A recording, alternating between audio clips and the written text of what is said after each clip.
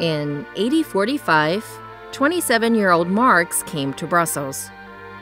He used to frequent the Lasinia Cafe. Accompanying him was 25 year old Engels, the most important friend in his life. It was under the dim lights of the cafe that the two young men wrote the Communist Manifesto. In 1848, when a thin pamphlet was published, it pierced the darkness like a beam of light, and had since changed the course of the human history.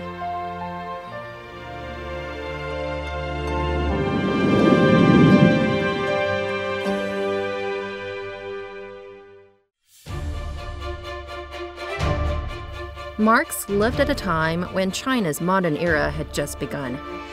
He predicted that China may have a huge impact on the world. In fact, it's his thoughts that gave new life to the country and its people.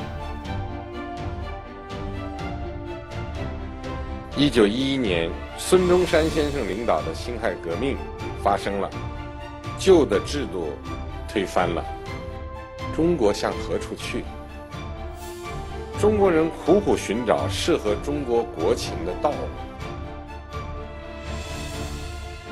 After the First World War, China attended the Paris Peace Conference as one of the victorious countries. The demands by the representative of China were reasonable, yet bluntly rejected. As the saying goes, there is no diplomacy for weak nations. Back in China, the diplomatic failure sparked a rage in large numbers of patriotic youths, and thus the May the 4th movement broke out. China's pioneering intellectuals finally chose Marxism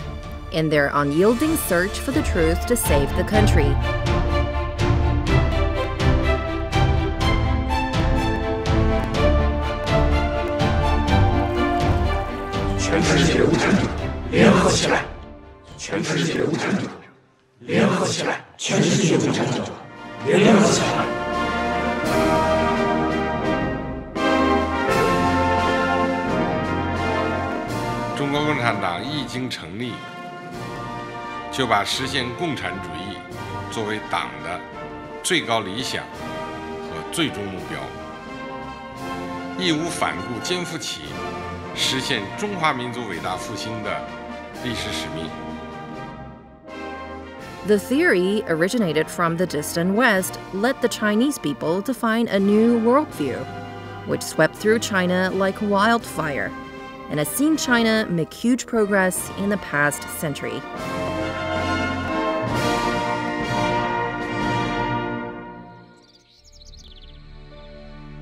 In the Communist Manifesto, Marx exclaimed the proletariat movement is the self conscious, independent movement of the immense majority in the interest of the immense majority. Pledging to always put the people first, the Chinese Communists are committed to the happiness of the Chinese people and progress of the human race. 中国方案是构建人类命运共同体，实现共赢、 共享。The CPC is showing uh, or is inspiring diversity in the world. That there's no need to think about a one world order.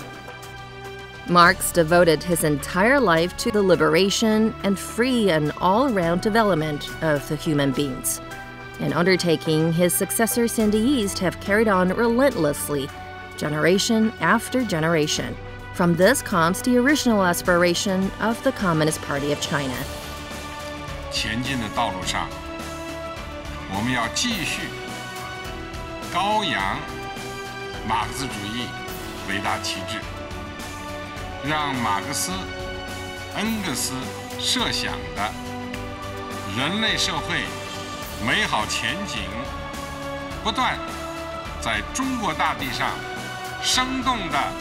展现出来。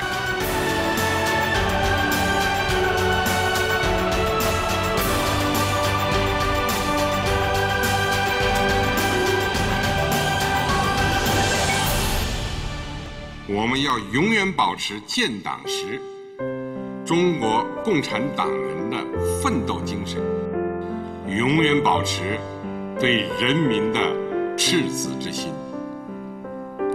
一切向前走，都不能忘记走过的路。